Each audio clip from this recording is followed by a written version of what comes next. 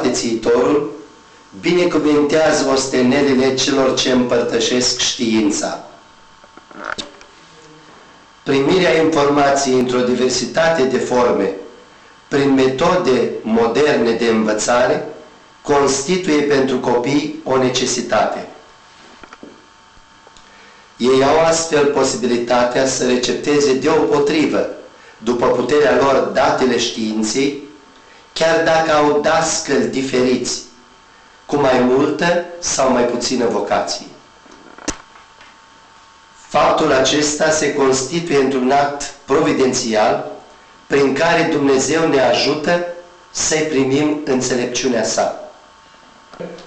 Dumnezeu să vă binecuvinteze această trudă, să puteți să împărtășiți știința copiilor, căci știința este lumină pentru sufletele lor.